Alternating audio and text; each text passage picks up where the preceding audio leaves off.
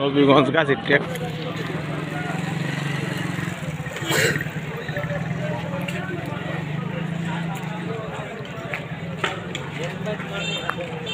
দীর্ঘ কয়েক ঘণ্টা সংঘর্ষের পরে মোটামুটি নিয়ন্ত্রণে।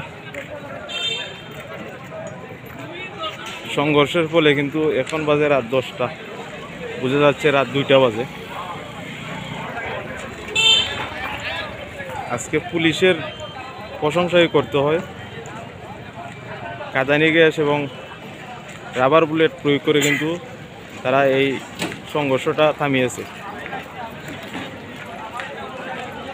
কাদানি গ্যাসের গন্ধ পেঁয়াজের জাচের চাইতে আরও বেশি।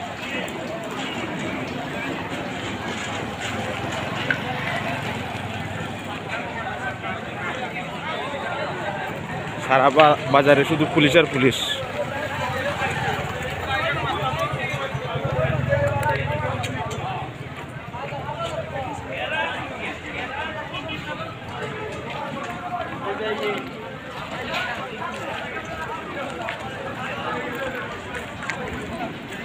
এই রাজা কমপ্লেক্সের সামনে পুরাই রণক্ষেত্র।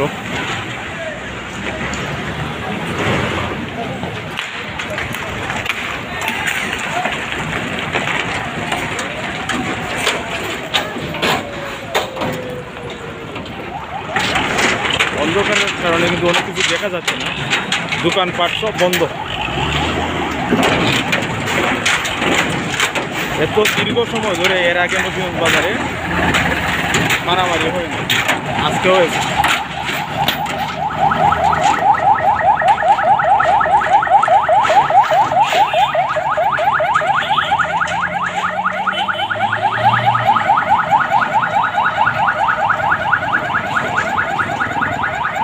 পুরা বাজারে ইটপাট।